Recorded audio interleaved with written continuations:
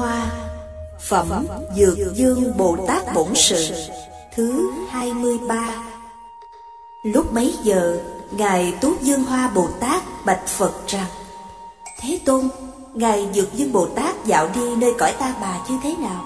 Thế Tôn, Ngài Dược Dương Bồ Tát đó, Có bao nhiêu nghìn muôn ức na do tha hạnh khổ khó làm? Hay thay Thế Tôn, Nguyện giải nói cho một ít các hàng trời, rồng, thần, dạ xoa, càng thác bà Atula, ca lầu la, khẩn na la, ma hầu la già Nhân cùng phi nhân, dân dân Và các vị Bồ Tát ở các nước khác đến cùng chúng thanh gian đây Nghe đều vui mừng.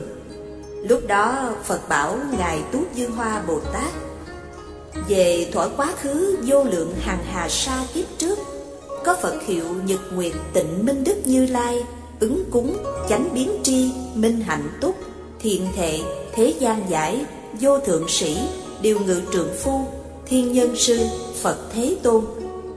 Phật đó có 80 ức đại Bồ Tát 72 hàng hà sa chúng đại thanh văn. Phật sống lâu bốn muôn hai nghìn kiếp Bồ Tát sống lâu cũng bằng Phật. Nước đó không có người nữ Địa ngục, ngạ quỷ, súc sanh, Atula vân vân. Và với các khổ nạn. Đất bằng như bàn tay Chất lưu ly làm thành Cây báo trang nghiêm Bàn báo trùm lên hồng các phan báu đẹp Bình báu, lò hương khắp cùng cả nước. Bảy món báu làm đài Một cây có một đài Cây đó cách đài đều một làng tên. Các cây báo đó đều có Bồ Tát Thanh văn ngồi ở dưới. Trên các đài báo đều có trăm ức chư thiên trỗi kỹ nhạc trời Ca khen Đức Phật để làm việc cúng dường. Bấy giờ Đức Phật đó Vì Ngài nhất thiết chúng sanh hỷ kiến Bồ Tát Cùng chúng Bồ Tát Và chúng thanh văn nói kinh Pháp Hoa. Ngài nhất thiết chúng sanh hỷ kiến Bồ Tát Ưa tu tập khổ hạnh ở trong pháp hội của Đức Nhật Nguyệt Tịnh Minh Đức Phật, tinh tấn kinh hành, một lòng cầu thành Phật, mãn một muôn hai nghìn năm, đặng hiện nhất thiết sắc thân tam muội đặng tam muội đó rồi lòng rất vui mừng liền nghĩ rằng ta đặng hiện nhất thiết sắc thân tam muội này đều là do sức đặng khe kinh pháp hoa ta này nên cúng dường nhật nguyệt tịnh minh đức phật và kinh pháp hoa tức thời nhập tam muội đó ở giữa hư không trưới bông mạng Đà La, bông ma ha mạng Đà La, cùng bột kiên hắc chiên đàn đầy trong hư không như mây mà rưới xuống. Lại rưới hương hải thử ngạn chiên đàn, sáu thù hương này giá trị cõi ta bà để cúng dường Phật. Cúng dường thế đó rồi, tự ta muội dậy mà tự nghĩ rằng, ta giàu dùng thần lực cúng dường nơi Phật, chẳng bằng dùng thân cúng dường liền uống các chất thơm, chiên đàn, quân lục, đâu lâu bà, tất lực ca, trầm thủy giao hương, lại uống dầu thơm các thứ bông chim bạc dân dân. Mãn một nghìn hai trăm năm, rồi lấy dầu thơm xoa thân, ở trước Đức Nhật Nguyệt tịnh minh Đức Phật, dùng y báo cõi trời mà tự quấn thân, dưới các thứ dầu thơm, dùng sức nguyện thần thông mà tự đốt thân. Ánh sáng khắp soi cả 80 ức hàng hà sa thế giới Các đức Phật trong đó đồng thời khen rằng Hay thay, hay thay, thiện nam tử Đó là chân thiệt tinh tấn Gọi là chân pháp cúng dường như lai. Nếu dùng hoa hương chuỗi ngọc Hương đốt, hương bột, hương xoa, phan, lọng Bằng lụa cõi trời Và hương hải thử ngạn chiên đàn Dùng các món vật cúng dường như thế Đều chẳng bằng được. Giả sử quốc thành thê tử bố thí cũng chẳng bằng. Thiện nam tử Đó gọi là món thí thứ nhất.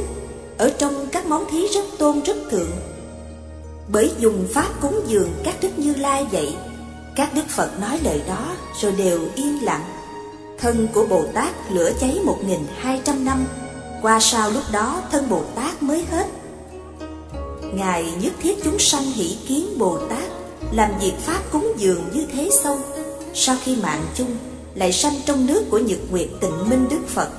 Ở nơi nhà vua Tịnh Đức bỗng nhiên ngồi xếp bằng hóa sanh ra.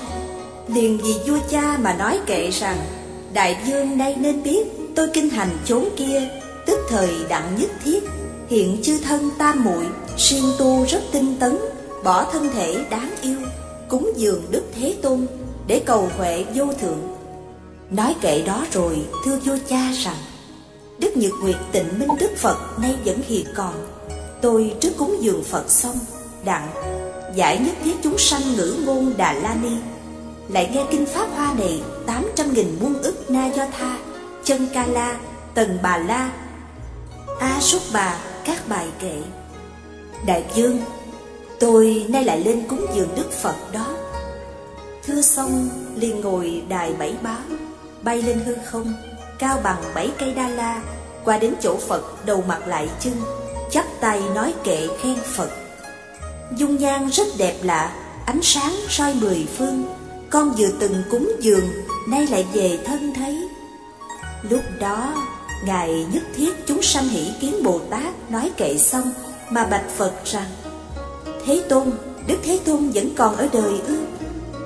Bấy giờ, Đức Nhật Nguyệt tịnh minh Đức Phật bảo Ngài nhất thiết chúng sanh hỷ kiến Bồ Tát rằng Thiện nam tử, giờ ta nhập Niết Bàn đã đến, giờ diệt tận đã đến, ông nên sắp đặt giường tòa. Ta trong đêm nay sẽ nhập Niết Bàn. Phật lại bảo Ngài nhất thiết chúng sanh hỷ kiến Bồ Tát rằng Thiện nam tử, ta đem Phật Pháp giao phó cho ông và các Bồ Tát Đại Đệ tử cùng Pháp vô thượng chánh đẳng chánh giác Cũng đem cõi thất bảo tam thiên đại thiên, các cây báo đài báo và hàng chư thiên cung cấp hầu hạ đều giao phó cho ông. Sau khi ta diệt độ, có bao nhiêu xá lợi cũng phó chúc cho ông, nên làm cho lưu bố rộng bày các việc cúng dường, nên xây bao nhiêu nghìn tháp. Đức Nhật Nguyệt tịnh minh Đức Phật bảo Ngài nhất thiết chúng sanh hỷ kiến Bồ Tát như thế rồi, vào khoảng cuối đêm nhập Niết Bàn. Lúc đó, Ngài nhất thiết chúng sanh hỷ kiến Bồ Tát, thấy Phật diệt độ, buồn cảm, sầu khổ, luyến mộ nơi Phật, liền dùng hải thử ngạn chiên đàn làm vàng để cúng dường thân Phật mà thiêu đó. Sau khi lửa tắt, thâu lấy xá lợi đựng trong tám muôn bốn nghìn bình báo để xây tám muôn bốn nghìn tháp, cao ba thế giới. Chân dọn trang nghiêng thòng các phan lộng treo các linh báo. Bấy giờ, Ngài nhất thiết chúng sanh hỷ kiến Bồ Tát lại tự nghĩ rằng Ta giàu làm việc cúng dường đó, lòng còn chưa đủ Nay ta lại nên cúng dường xá lợi Liền nói với các Bồ Tát Đại Đệ Tử Và trời, rồng, dạ xoa, dân dân cả đại chúng rằng, Các ông phải một lòng ghi nhớ, Tôi nay cúng dường xá lợi của Đức Nhật Nguyệt tịnh minh Đức Phật. Nói xong, liền ở trước tám muôn bốn nghìn tháp Đốt cánh tay trăm phước trang nghiêm, Mãn bảy muôn hai nghìn năm để cúng dường, Khiến vô số chúng cầu thanh văn vô lượng vô số người phát tâm vô thượng chánh đẳng chánh giác đều làm cho trụ trong hiện nhất thiết sát thân tam muội.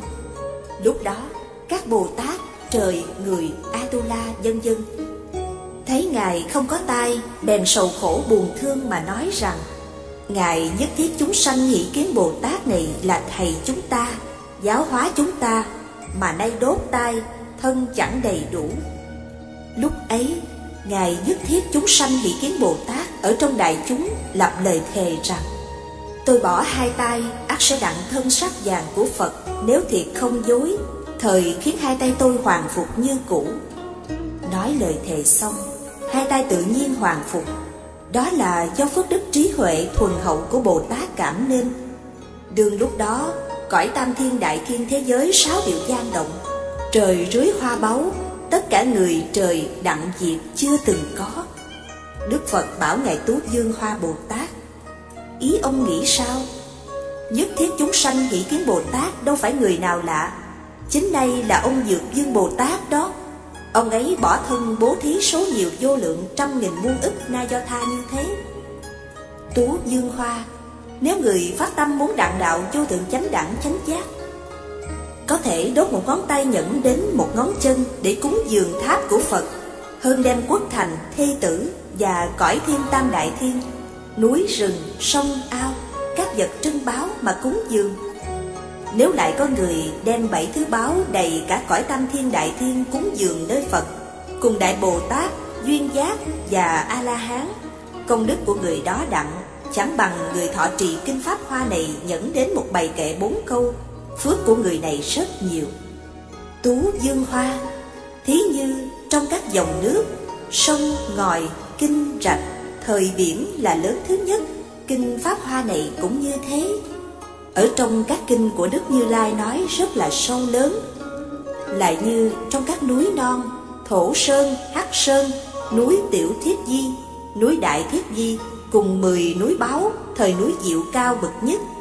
Kinh Pháp Hoa này cũng như thế Ở trong các kinh rất là bậc thượng Lại như trong các ngôi sao, mặt trăng là bậc nhất. Kinh Pháp Hoa này cũng như thế. Ở trong nghìn muôn ức, các kinh Pháp rất là sáng. Lại như mặt trời hay trừ các chỗ tối tâm Kinh này cũng thế, Hay phá tất cả sự tối bất thiện. Lại như trong các vua nhỏ, Vua chuyển luân thánh dương rất là bậc nhất. Kinh này cũng như thế, Ở trong các kinh là bậc tôn kính hơn cả. Lại như đế thích là vua trong 33 cõi trời Kinh này cũng thế Là vua trong các kinh. Lại như trời Đại Phạm Thiên Dương Là cha của tất cả chúng sanh.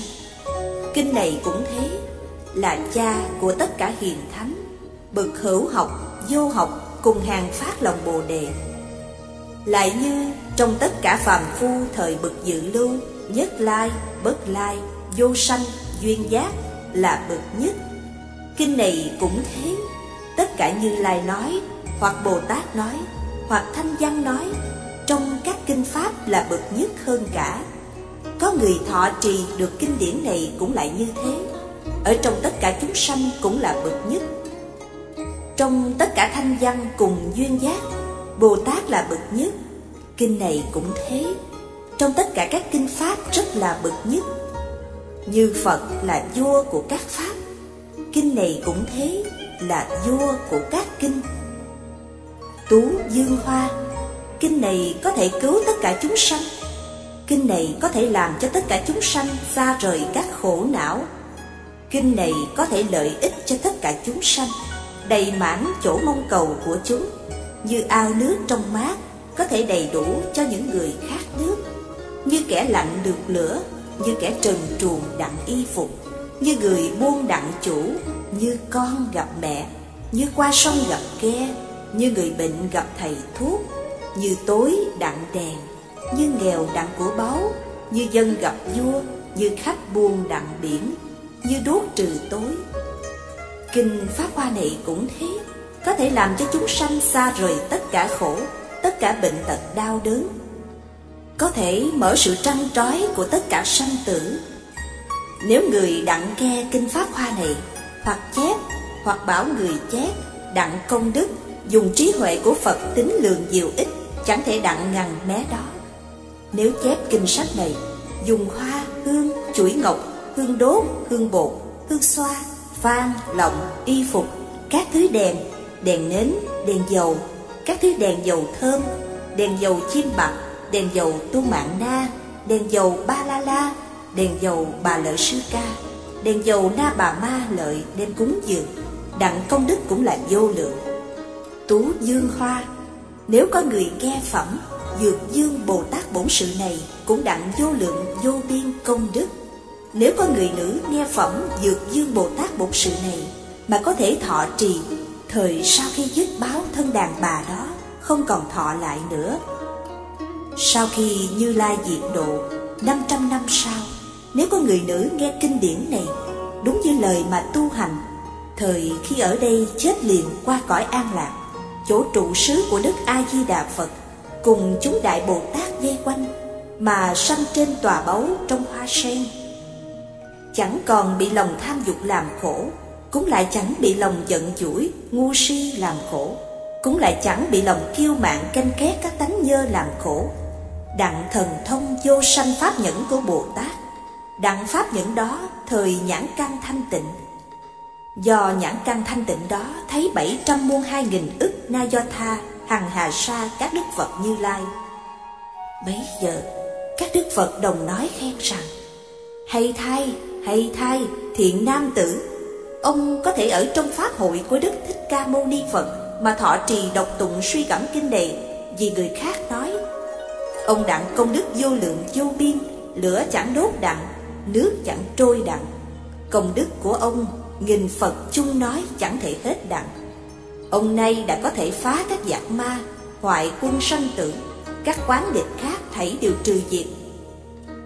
Thiện nam tử Trăm nghìn các đức Phật dùng sức thần thông Đồng chung thủ hộ ông. Tất cả trời người trong đời không ai bằng ông. Chỉ trừ các đức như lai. Bao nhiêu thiền định trí huệ của các thanh văn, duyên giác Dẫn đến Bồ Tát không có ai bằng ông. Tú Dương Hoa Vì Bồ Tát đó thành tựu sức công đức trí huệ như thế Nếu có người nghe phẩm Dược Dương Bồ Tát bổn sự này Mà có thể tùy hỷ khen ngợi Thời người đó trong đời hiện tại Trong miệng thường thoảng ra mùi thơm hoa sen xanh Trong lỗ chân lông nơi thân Thường thoảng ra mùi thơm ngưu đầu chiên đạn, Đặng công đức như đã nói ở trên. Tú Dương Hoa Vì thế ta đem phẩm Dược Dương Bồ Tát bổn sự này chúc lụy cho ông. Năm trăm năm sau khi ta diệt độ, phải tuyên nói lưu bố rộng truyền ở cõi diêm phù đề, chớ để dứt mất, chớ cho hàng ác ma, dân ma, cát trời, rồng, dạ xoa, cưu bàn trà, dân dân, phá khuấy đặng. Tú Dương Hoa, ông phải dùng sức thần thông giữ gìn kinh này, vì sao? Vì kinh này là món lương dược của người bệnh trong cõi diêm phù đề. Nếu người có bệnh đặng nghe kinh này, bệnh liền tiêu diệt, chẳng già, chẳng chết. Tú dương hoa Nếu ông thấy có người thọ trì kinh này, phải dùng hoa sen xanh đựng đầy hương bột trải trên người đó. Rải xong nghĩ rằng, người đầy chẳng bao lâu quyết sẽ lấy cỏ trải ngồi nơi đạo tràng, phá các quân ma, sẽ thổi ốc pháp, đánh trống pháp độ thoát tất cả chúng sanh ra khỏi biển sanh và bệnh chết. Cho nên, người cầu Phật đạo thấy có người thọ trì kinh điển này nên phải sanh lòng cung kính như thế. Lúc Đức Phật nói phẩm Dược chương Bồ Tát bổn sự này có tám muôn bốn nghìn Bồ Tát đặng Pháp giải nhất thiết chúng sanh ngữ ngôn Đà La Ni. Đức Đa Bửu Như Lai ở trong tháp báo khen ngài Tú Dương Hoa Bồ Tát rằng hay thai, hay thai tú dương hoa. Ông thành tựu bất khả tư nghị công đức mới có thể hỏi Đức Thích Ca Mâu Ni Phật việc như thế, làm vô lượng lợi ích cho tất cả chúng sanh.